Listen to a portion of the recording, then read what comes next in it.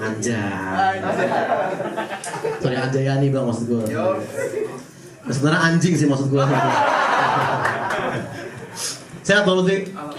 Sebenarnya uh, Lutfi ini lebih muda dari gue umurnya. Cuma sengaja gue panggil bang supaya kita nggak usah akrab-akrab banget lah gitu. Orang bilang katanya roasting itu adalah uh, bentuk penghormatan kita terhadap orang yang kita roasting gitu. Jadi sebenarnya uh, gue lagi menghormati lo bang Lutfi. Menghormati ketololan lo.